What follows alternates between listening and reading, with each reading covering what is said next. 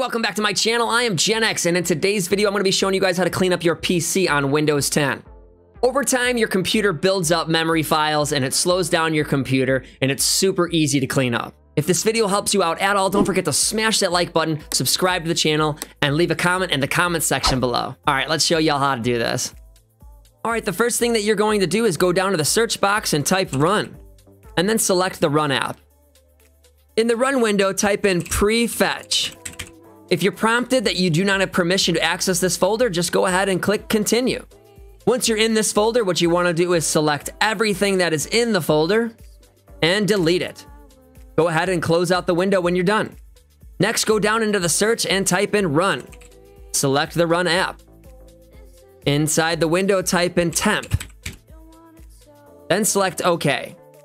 Once you're in this temp folder, go ahead and select all of the files and delete them.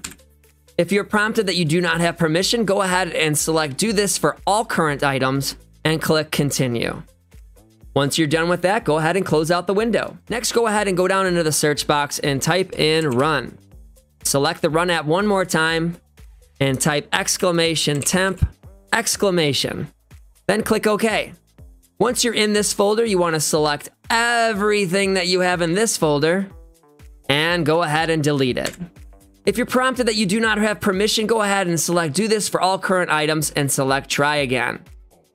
Some of the temp files might be in use and might not be able to be deleted. That's okay.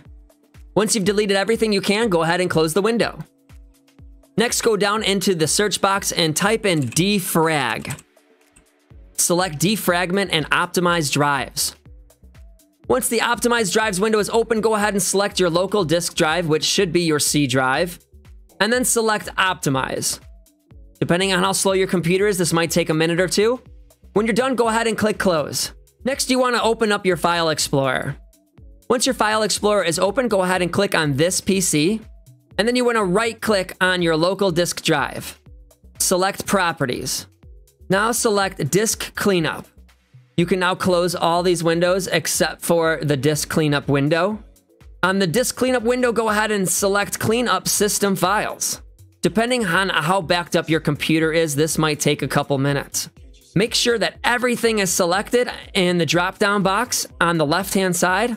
Once all boxes are checked, go ahead and click OK. Then select Delete Files. Depending on how backed up your computer is, this might take a couple minutes. Once your disk cleanup is done, go ahead back down into the search one more time and type in Task. Then select Task Manager. Once the Task Manager window is open, go ahead and select the Startup tab. Once you're on the Startup tab, you want to check this list. And if you see anything that you don't use when you turn on your computer, you want to make sure that it's disabled over here on the right. If you're not sure if you use it or not, go ahead and leave it on.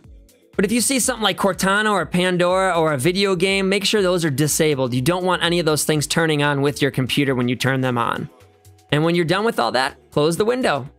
Well, that's it, you guys. It's as easy as that to clean up your Windows 10 PC.